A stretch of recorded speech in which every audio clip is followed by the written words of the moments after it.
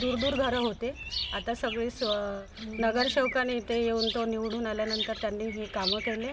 आणि आम्हाला पाण्याचा प्रॉब्लेम खूप होता त्रास होता. त्याच्यामुळे आम्ही पाण्याला मैदानामध्ये जात होतो मोठ्या लांबवर जात होतो पाण्याला. तिथून आम्ही डोक्यावर गुंड घेऊन पाणी भरत होतो. आणि त्याच्यानंतर खूप आमची परिस्थिती खूप ही होती डाऊन होती. त्याच्यामुळे आम्हाला खूप तक हे झालं आणि इसाप कंपनीचं हे आलेलं आहे आली आहे इथं. आणि त्या कंपनीमध्ये माहिती झालं की बचत गट तयार करावा बा म्हणून. त्यासाठी आम्ही वीस बाया जमलो आणि तिथं आम्ही बचत गट तयार केला. त्या बचत गटाचं नाव आहे प्रियंका. त्याच्यामध्ये वीस बाया आहेत त्यांनी आम्हाला नळासाठी लोन दिलं तीन हजार रुपये. नळ त्याच्यानंतर पाईपलाईन आणली. पाईपलाईन आल्यानंतर आम्ही घरोघरी नळं घेतले तीन हजारामध्ये.